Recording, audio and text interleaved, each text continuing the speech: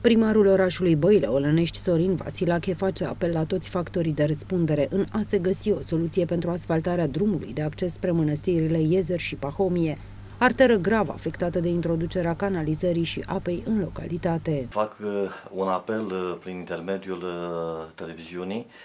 dumneavoastră către SC Apavil, către SC Cominco, firma care încă nu a finalizat lucrările la uh, obiectivul conectare 100% a localității componente Chia și uh, Orănești către Adiapa, întrucât uh, dacă ne-am bucurat cu toții că au început lucrările acum 2 ani de zile și am prins că am fost incluși ca și uh, finanțare, uh, în momentul de față ne aflăm într-o situație uh, total uh, necorespunzătoare, în sensul că de un an de zile deci în anul 2018 nu s-a mai continuat pe nicio strază, uh, nu s-au mai făcut branșamente, nu s-au mai făcut racorduri, nu s-au mai făcut uh, probe, nu mai vorbesc o porțiune uh, din strada cheia de la, din capătul străzii Cumpăna și strada cheia nu a fost introdusă rețeaua de apă. Strada se află într-o stare total uh, necorespunzătoare, degradată. Sunt sesizări nenumărate de la cetățeni, de la turiști,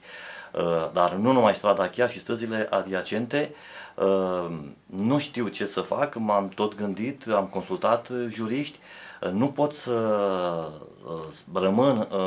și să aștept până când se va lua o decizie, până când se va primi finanțare a trecut aproape un an de zile de când nu s-a întâmplat nimic. Bineînțeles că toate reproșurile vin către autoritatea publică locală, către uh, primar, pentru că primarul a fost ales să gospodărească uh, orașul și să le aducă un plus al calității vieții și uh, lucrul acesta nu se întâmplă în această zonă. Deci fac un apel să găsească uh, o soluție, atât SC Apavilu, SC Cominco, uh, Adi Apa, Uh, Consiliul Județean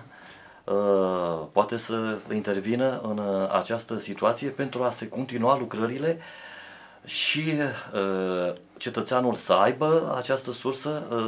de apă, dar în mod deosebit pentru a putea repara drumul Uh, care se află într-o stare, vă repet, uh, total uh, necorespunzătoare. O, cetățenii și-au rupt mașinile, au fost multe accidente, vine sezonul rece și de asemenea cu precipitații de zăpadă, cu viscol, lucrurile se vor înrăutăți. Mulțumesc locuitorilor din Chia pentru înțelegere. Sunt convins că au ajuns la capătul uh, răbdării. În cazul în care nu se va găsi rapid o soluție pentru repararea drumului, edilul Sorin Vasilache anunță că este hotărât să meargă în instanță pentru a rezolva situația.